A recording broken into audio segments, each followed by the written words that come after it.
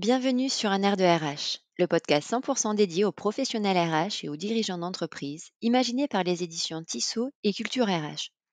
Je suis Elodie Clarion et je suis ravie de vous accueillir pour ce nouvel épisode. Dans ce podcast, des professionnels partageront avec nous des solutions qu'ils ont trouvées et mises en place pour faciliter l'application du droit du travail au sein de l'entreprise au bénéfice des salariés. Mettre en place des sensibilisations régulières sur les risques professionnels, la santé et la sécurité au travail, voire même certaines en lien avec les impacts environnementaux de l'entreprise, n'est pas toujours évident. Vous ambitionnez peut-être d'animer des quarts d'heure ou causes sécurité chaque mois, mais vous vous questionnez sur la pertinence de la démarche, sur son réel impact sur la prévention des risques et sur la participation des salariés? Vous craignez peut-être de ne pas tenir le rythme par manque de temps ou d'inspiration pour renouveler les thèmes? Eh bien, pour répondre à toutes ces questions, nous avons fait appel à Marie Daillot, consultante et formatrice en santé sécurité au travail. Bonne écoute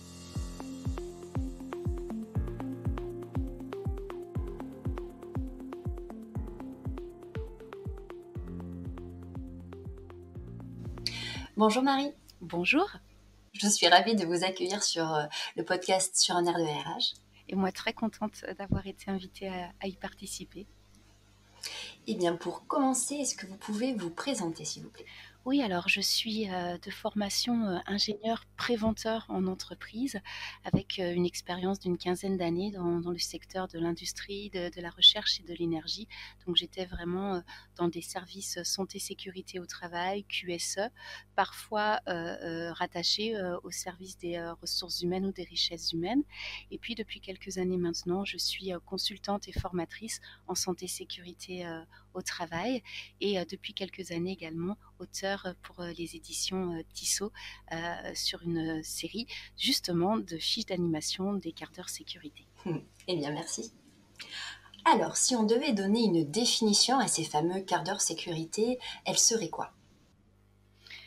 Alors, je vais essayer de faire une définition assez claire en, quatre points, mais ce que je voudrais dire en, en introduction, c'est d'abord quel est leur but à ces quarts d'heure sécurité? Dans les bonnes pratiques de prévention, on sait maintenant que ce qui est important, euh, c'est de pouvoir euh, euh, faire adhérer les salariés, qu'ils soient acteurs de la démarche de prévention, qu'ils la co-construisent et qu'ils aient vraiment le sentiment de participer en fait à cette démarche et de ne pas de ne pas la subir. On sait que en matière de prévention, ce que l'on formule soi-même, ce que l'on choisit de, de mettre en œuvre est bien plus évident. Et donc pour les salariés, participer à un quart d'heure sécurité, c'est justement se mettre euh, dans ce rôle euh, d'acteur de la démarche de prévention et c'est euh, ce qui est à mes yeux le plus important. Alors, cela étant dit, comment définir le quart d'heure sécurité?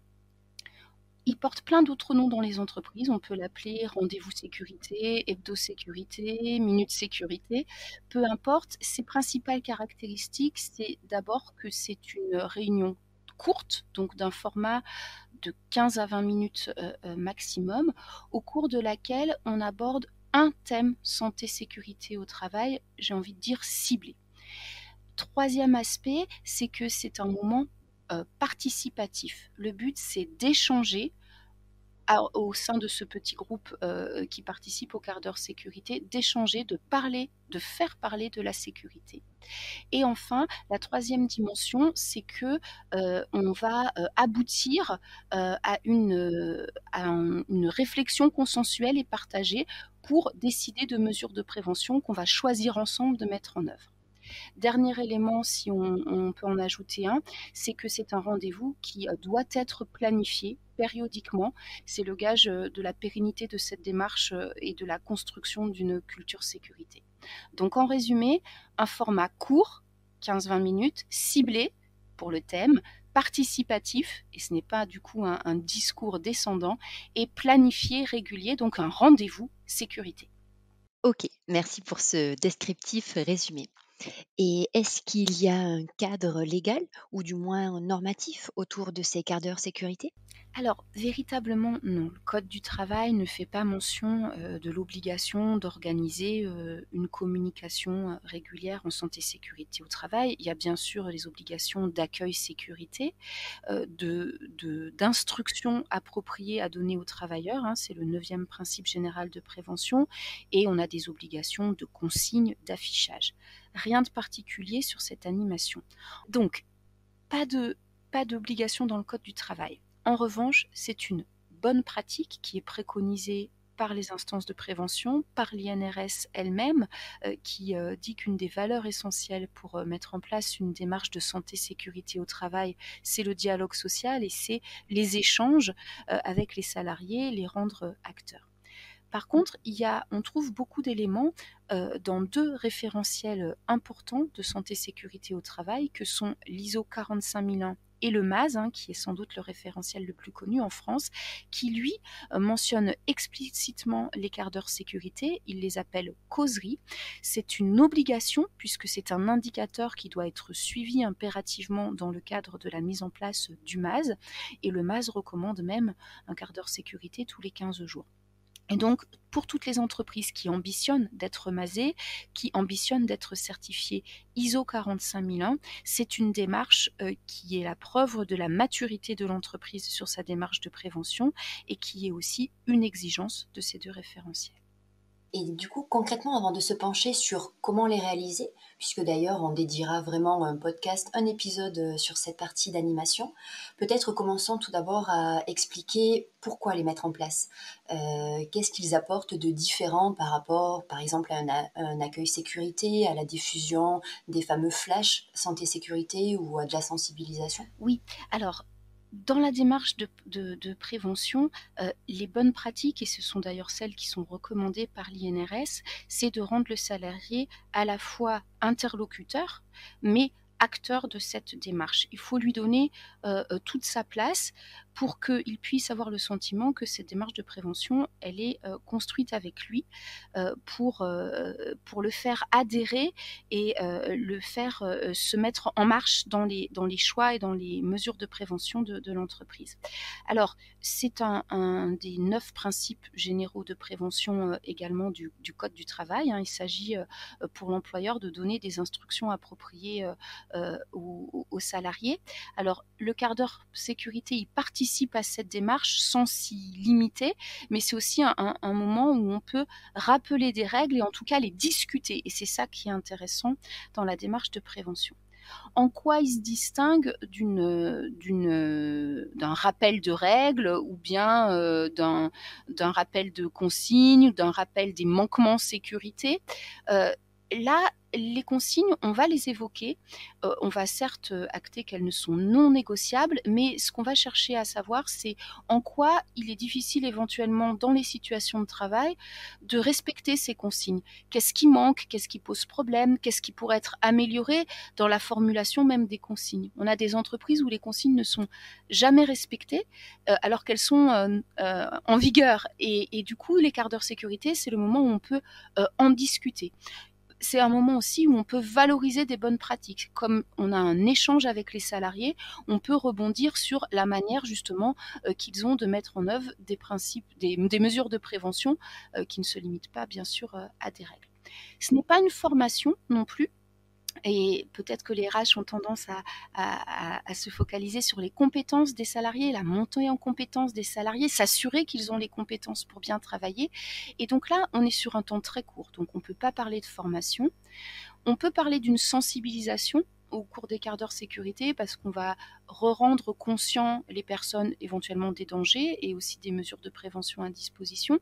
Euh, donc on ne va pas acquérir de nouvelles compétences pendant un quart d'heure sécurité, mais euh, les réactiver. Ce n'est pas non plus un moment où on va euh, être dans une discussion conflictuelle avec les salariés, ça ne doit pas l'être en tout cas. On, peut accueillir des questions un retour d'expérience, mais l'avantage du quart d'heure sécurité, c'est qu'on va pouvoir dire qu'on se concentre sur le sujet de la santé sécurité au travail qui est ciblé et qu'il y a d'autres moments pour les revendications, les plaintes, les réunions de CSE par exemple, mais on va vraiment pouvoir se débarrasser dans ce moment d'échange des questions conflictuelles. Et ça je pense que c'est intéressant aussi pour, pour les, les ressources humaines de pouvoir se dire qu'on a un temps qui est dépollué de, ces aspects-là. Moi, ce que je trouve très différent dans les quarts d'heure sécurité par rapport à toute autre forme d'animation hein, sur la santé sécurité, comme vous le disiez, euh, on peut faire des mémos, des flashs, diffuser des SMS, faire de l'affichage.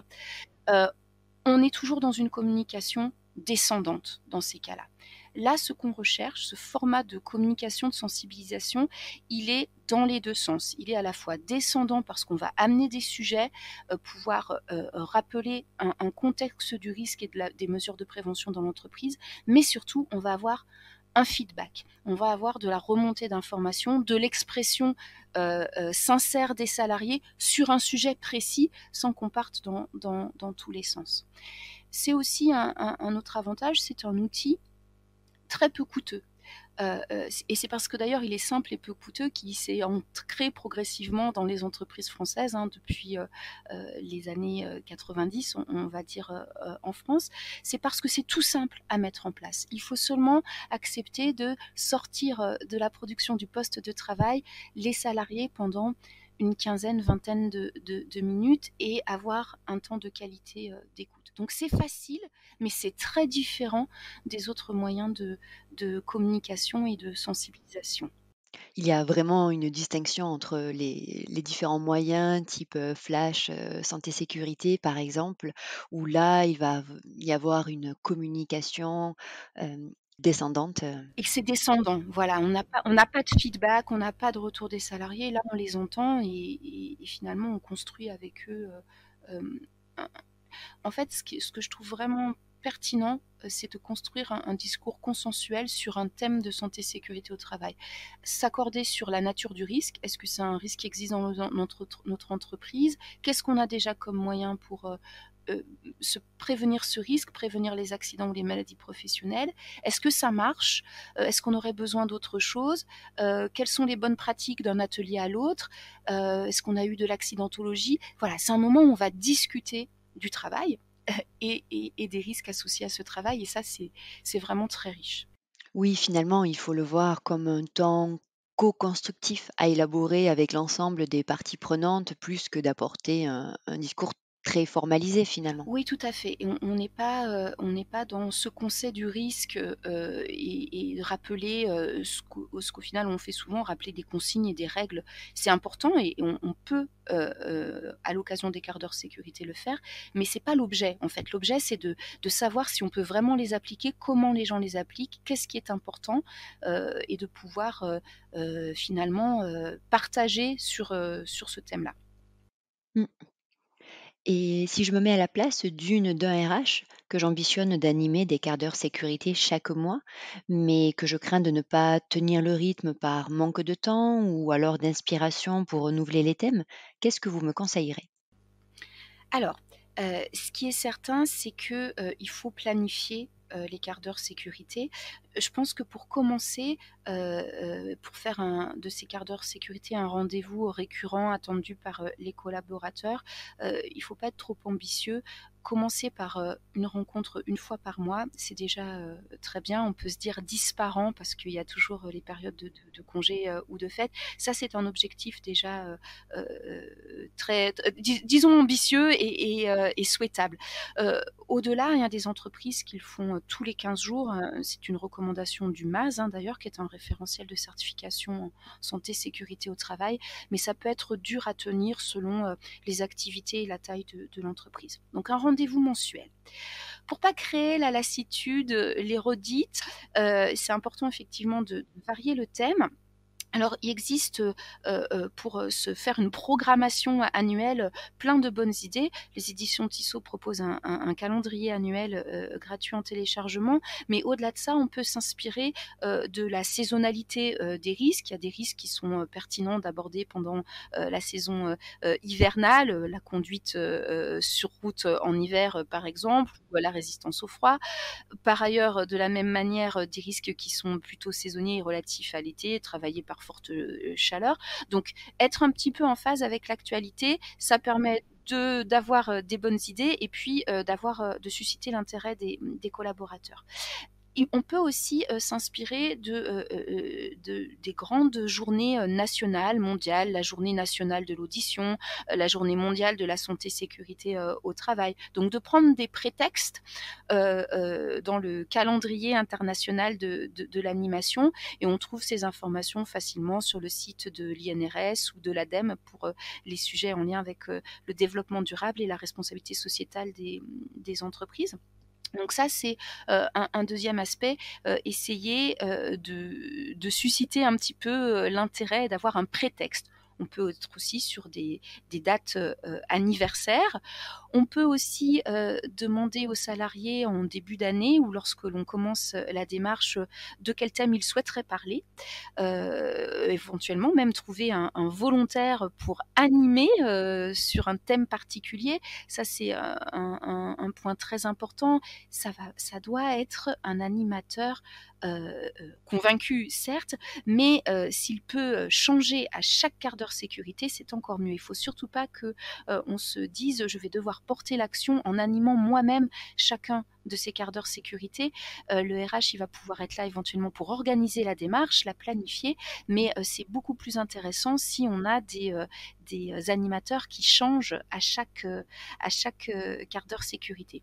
Donc ça, c'est un, autre point, varier les animateurs sur la base du volontariat et sur des thèmes qui les intéressent, qui les concernent. Ça peut être suite à une expérience personnelle, un accident malheureusement, ou bien une bonne pratique issue du passé du collaborateur, d'une entreprise euh, euh, précédentes. Donc ça, c'est euh, intéressant.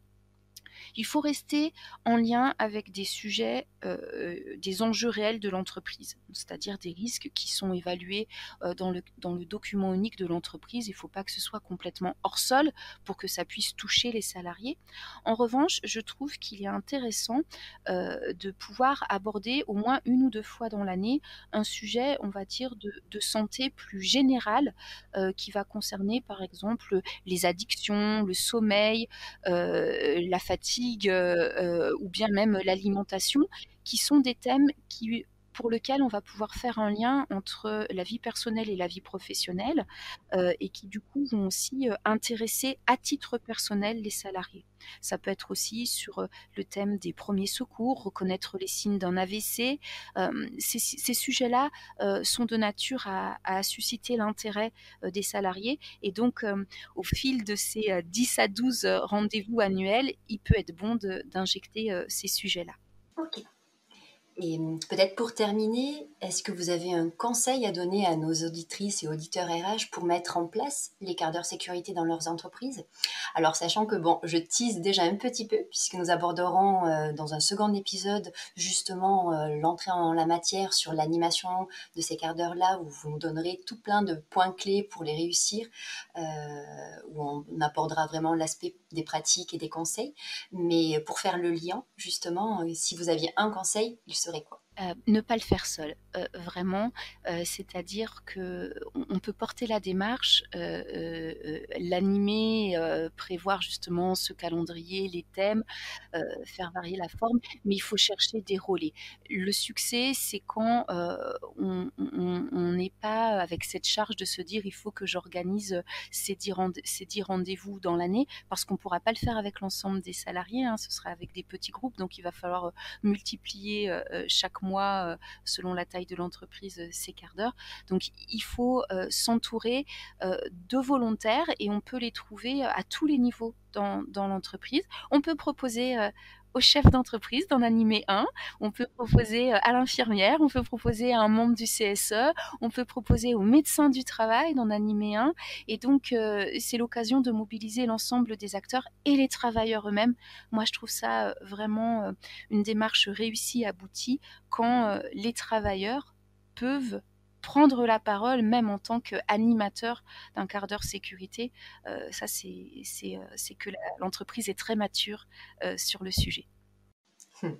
Et, d'un point de vue du coup logistique pour, le, pour les mettre en place? Alors, comme je disais, c'est un format très léger, le quart d'heure sécurité. J'aime bien d'ailleurs rappeler que historiquement, c'est une, une, tradition euh, c'est euh, quart d'heure sécurité, ça s'appelait Toolbox Meeting, ça veut dire euh, la réunion autour de la boîte à outils, ou Tailgate Talk, on appelait ça aussi, ça veut dire la, réunion qui se fait appuyer sur le pick-up, le coffre du pick-up. donc c'était un format très très léger informel. On n'a pas besoin de support, on n'a pas besoin d'un vidéoprojecteur avec un PowerPoint, on n'a pas besoin d'une salle de réunion. On se met euh, euh, au poste de travail. Alors s'il est bruyant, on peut se mettre ailleurs. Euh, on peut être debout. D'ailleurs, moi, je le conseille de, se mettre un peu en cercle, debout. L'idée, c'est d'être ensemble. Voilà, c'est tout ce dont on a besoin pour, euh, pour euh, commencer à s'installer et faire un quart d'heure sécurité. Il y a des gens qui aiment bien avoir un support visuel, on peut partir euh, d'une affiche ou, peut-être même d'un objet, on peut avoir un EPI, on peut avoir quelque chose à, montrer pour, pour incarner le quart d'heure sécurité, mais c'est vraiment pas indispensable. Donc au point de vue logistique, c'est très très facile à mettre en place. Je conseille quand même pour les RH, surtout s'ils veulent valoriser ce quart d'heure parce que c'est important par la suite d'en faire un enregistrement, c'est-à-dire une feuille d'émargement avec éventuellement euh, le thème abordé, l'émargement des participants, et puis peut-être, et ça c'est un conseil que je donne en termes d'animation, euh, d'aboutir à la fin de ce quart d'heure à euh, un engagement ou un rappel de trois points importants euh, sur le sujet concerné et, pouvoir le formaliser, éventuellement le laisser afficher dans l'entreprise à l'endroit où on a fait le quart d'heure par la suite. Mais bon, ça n'est jamais qu'un format A3 ou A4 de papier et ce n'est pas indispensable. Eh bien, merci beaucoup. Merci Marie pour ce premier échange qui nous a permis de poser le cadre et définir les enjeux pour la RH sur ces fameux quarts d'heure sécurité. Merci beaucoup. Et puis à très bientôt pour la suite. À très bientôt pour le, pour, euh, le sujet de l'animation à proprement parler des quarts d'heure sécurité. Exactement. Au revoir. Au revoir.